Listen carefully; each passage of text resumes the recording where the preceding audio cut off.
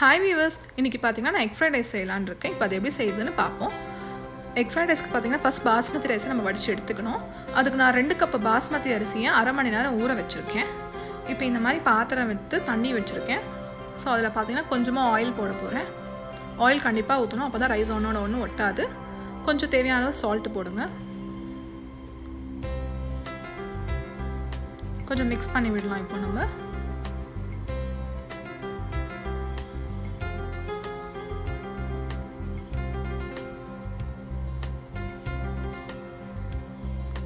நல்லா கொதி வந்ததுக்கப்புறம் தான் ரைஸ் போடணும்.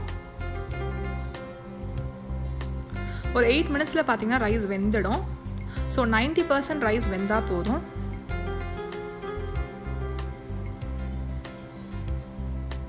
ஸோ பாருங்கள் இப்போ ரைஸ் நல்லா வெந்துடுச்சு. இந்த ஸ்டேஜில் நம்ம ரைஸை வடிச்சிடலாம் இப்போது தண்ணியெல்லாம் எடுத்தாச்சு. இப்போ பார்த்தீங்கன்னா ஆற விட்டுடலாம். கொஞ்சம் தட்டில் கொட்டி அது சாதத்தை.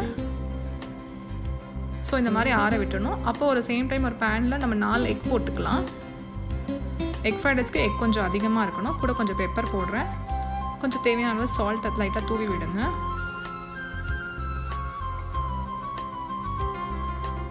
ஸோ லைட்டாக கலரணும் இந்த மாதிரி.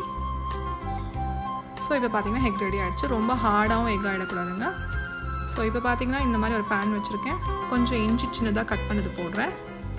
கொஞ்சம் சின்ன சின்னதாக கட் பண்ண பூண்டு போட போகிறேன் அண்ட் ஒரு பச்சை மிளகா சின்ன சின்னதாக கட் பண்ணியிருக்கேன். அதை போடுறேன்.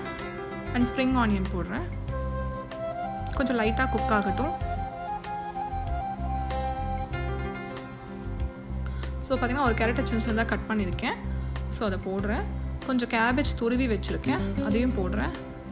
கொஞ்சம் சின்னதாக கட் பண்ண பீன்ஸ் போடுறேன். பத்துலேருந்து பன்னெண்டு பீன்ஸ் நான் எடுத்திருக்கேன். ஸோ வெஜிடேபிள் வந்தால் நல்லா குக் ஆகட்டும். ஆனால் ஓவர் குக் ஆகிடக்கூடாதுங்க ஸோ ஹை ஃப்ளேமில் நல்லா வதக்குனிங்கன்னா ஸ்பீடாக ரெடி ஆகிடும் ஸோ இப்போ குக் ஆகிடுச்சு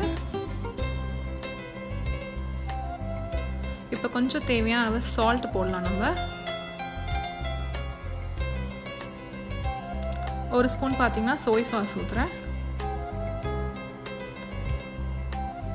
கொஞ்சம் ஸ்ப்ரிங் ஆனியன் சின்ன சின்னதாக கட் பண்ணது போடுறேன். நல்லா வதக்கலாம். இப்போ கொஞ்சமாக பெப்பர் தூவி விடலாம்.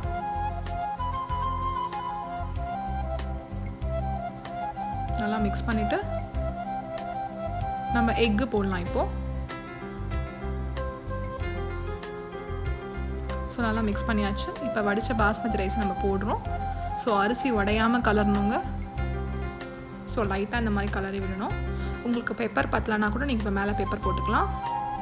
ஸோ இப்போ பார்த்தீங்கன்னா நம்ம ஃப்ரைட் ரைஸ் ரெடி ஆகிடுச்சு ஸோ எக் ஃப்ரைட் ரைஸ் பார்த்தீங்கன்னா சூப்பராக ரெடி ஆகிடுச்சு ரொம்ப ஈஸியான ரெசிபி நீங்களும் வீட்டில் ட்ரை பண்ணி பாருங்கள் உங்களுக்கு இந்த வீடியோ பிடிச்சிருந்தா சப்ஸ்கிரைப் பண்ணுங்கள் தேங்க்ஸ் ஃபார் வாட்சிங்